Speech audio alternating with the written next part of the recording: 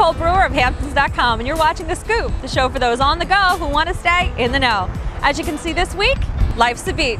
And this weekend will be, to quote style maven and new mom Rachel Zoe, bananas on the East End, with at least a dozen scheduled star-studded events, including the Beaches and Bays Gala for the Nature Conservancy, honoring Katherine Rayner, and the 15th annual Heart of the Hamptons Ball, where Star Jones, among others, is being honored.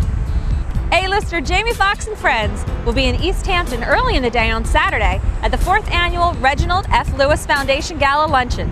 Later that night, actress Mariska Hargitay will be on hand for the 16th annual Artists Against Abuse Gala to benefit the retreat.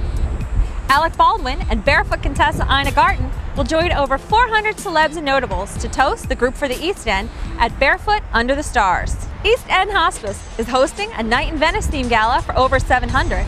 And not ever to be forgotten, up on the North Fork, you can support the troops while riding your bike during the Wounded Warrior Project Soldier Ride. And if all that's not enough, head out to Montauk for the annual shark fishing tournament this weekend, or plan to tee up on Monday at the Hamptons Golf Classic at Hampton Hills Golf and Country Club, honoring Gary DePersia of the Corcoran Group. Those are only a few of the nearly 100 events and happenings on the East End this weekend. Check out thehamptons.com calendar of events so you don't miss a thing. New events are added daily, and if you're hosting an event, pop it in there. Basic listings are free. And as I made my rounds this weekend, like many girls in the go, I had to fret over my hair between humidity, the heat, and, well, a little wind. It's a constant battle. I bumped into Kevin Maple of the Kevin Maple Salon in Southampton for a few pointers. Well, right now, I mean, what we're doing is, um, you know, the Brazilian blowout is, you know, a really hot item right now um, in our industry. Um, it helps control the frizz and keeps the curl down. Um, you know, helps your blow dry last longer. Um, so that's, you know, that's something that we're doing a lot of. Um, and, you know, unfortunately out here, the humidity, you know, creates a really big problem.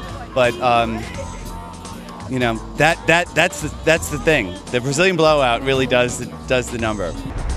Thanks, Kevin, for the tip.